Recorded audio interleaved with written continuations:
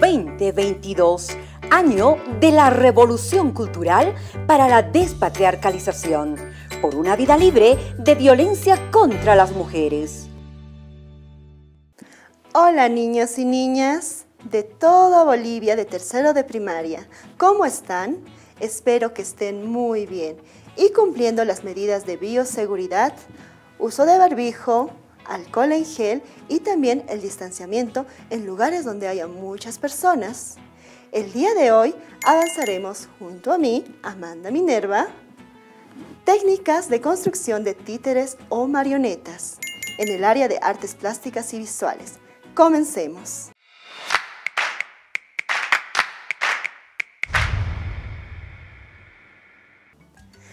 Las técnicas de construcción de títeres o marionetas pero, ¿qué son los títeres? Los títeres son figuras que representan a animales o personas o a seres fantásticos que queremos utilizar nosotros.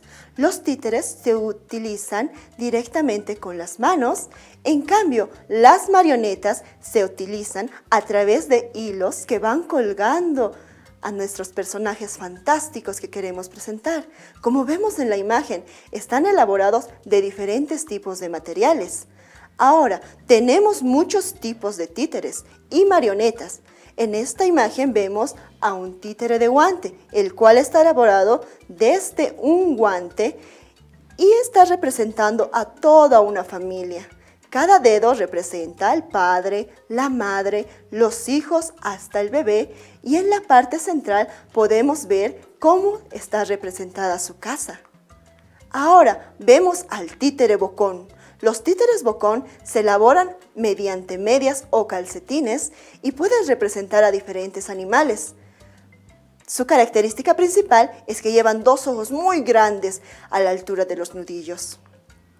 A continuación vemos a los títeres de dedos. Son los que nos acompañaron en nuestro teatro e hicieron la representación de la magnífica obra Caperucita y el Lobo Feroz.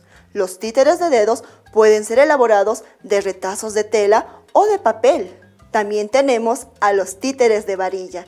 Su característica principal es que se elaboran a partir de cilindros los cuales al final tienen una pequeña varilla de donde podemos sujetarlos y moverlos de un lado a otro. También tenemos los títeres marioneta. Estos títeres son una combinación. Si bien podemos ver a nuestra marioneta hecha una figura, tienen hilos colgantes y en la parte superior dos pedazos de maderas de donde podemos sujetarlos y con eso podemos controlar sus movimientos. ¿Sabían que los títeres y las marionetas son utilizados en los teatros para representar diferentes obras? Así es, nosotros podemos ahora también construir nuestros propios títeres y marionetas. El día de hoy construiremos títeres de papel, para lo cual necesitaremos papel de colores, pegamento, ojos de plástico, un marcador negro, una imagen y cartulina o un palito de helado. Con estas indicaciones, comencemos con la elaboración de nuestro títere de papel. Muy bien niños, después de ver las diapositivas y tener todos los materiales listos, vamos a elaborar nuestros títeres de papel. Aquí yo tengo ya mi imagen que será de un animalito, un conejo. Lo que haré es dar la vuelta a mi conejito y con la varilla y un poco de masquín voy a unir los dos. Recuerden niños, al utilizar las tijeras siempre deben estar supervisados por un adulto. Ponemos nuestro masquín para pegar nuestro palito de helado a la imagen. Luego pondremos nuestra hoja de color para cubrir totalmente el dibujo por la parte trasera. Para esto utilizaremos un poco de pegamento. Lo pasamos alrededor de la imagen. Así, nuestra hoja de color quedará pegada atrás de nuestro conejito y se verá mucho más bonito. Una vez que ya peguemos nuestra hoja de color, debemos de presionar muy bien para que no haya espacios vacíos ni espacios con burbujas. Lo pegamos muy pero muy bien. Ahora sí, ya tenemos nuestro conejito pegado a la hoja de color. A continuación volveremos a utilizar las tijeras. Recuerden hacerlo con un mayor. Vamos a recortar alrededor del conejito, dejando un breve espacio para que así aparezca un fondo más oscuro. Además de esto, pondremos unos pequeños ojos para que darle más vida a nuestro títere de papel. También tenemos en nuestra mesa otros títeres. ¿Recuerdan cuáles eran? Tenemos a nuestros actores, los del cuento de Caperucita Roja y el lobo feroz. Exacto. Esos dos personajes nos están acompañando mientras elaboramos nuestro títere de papel. Pero no solo ellos nos están acompañando el día de hoy. También tenemos otro títere. ¿Recuerdan qué tipo de títere era? Nuestro amigo Mishu. Sí, nuestro amigo Mishu es un títere bocón que puede ser elaborado de tela. Y su característica es que tiene dos ojos muy grandes en la parte superior. Muy bien, ya estamos terminando de recortar nuestro títere de papel. Una vez terminado de recortar, vamos a sujetar nuestros dos ojitos y los vamos a pegar en la parte superior de su cara.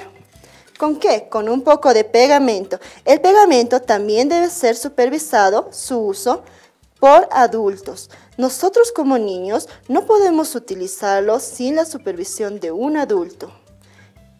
¿Listo? Ahora sí, nuestro conejito o nuestro títere de papel ha quedado muy bonito. Vean niños, este es nuestro títere y con su ayuda podremos llegar a contar nuevas historias y nuevos cuentos. Y no solamente con él, también tiene otros amigos, como ser el títere del perrito. Y también tenemos aquí a una pequeña niña que nos acompaña. ¿Qué historia ustedes contarían con estos tres personajes? Vamos a averiguarlo. Y ustedes también pueden realizar otros títeres en casa. Hola niños y niñas, hoy veremos un bello cuento interpretado por nuestros amigos los títeres de dedos. El cuento se llama Caperucita Roja y el Lobo Feroz. Había una vez una niña que siempre vestía de rojo. Su madre, una señora muy pero muy buena, le dijo, Caperucita, Ve y lleva esta cesta de comida donde tu abuelita, que vive cruzando el bosque. Pero si te topas con un lobo, recuerda, no le creas nada de lo que te diga y corre. La niña obediente emprendió el viaje hacia la casa de su abuelita. En el camino se encontró con el lobo feroz. Este le dijo, Hola niña, ¿Qué haces tan sola caminando por el bosque? Voy a la casa de mi abuelita, respondió Caperucita. El lobo feroz quiso quitarle la cesta de comida a Caperucita, pero forcejearon y forcejearon, y al final él no pudo hacerlo. Así que Caperucita corrió, corrió y desapareció. Cuando el lobo vio que Caperucita ya no estaba ahí, ideó un plan y decidió ir por otro camino a la casa de la abuelita y llegar antes que ella. El lobo entró a la casa de la abuela, empujó la puerta y encerró a la abuelita en el armario.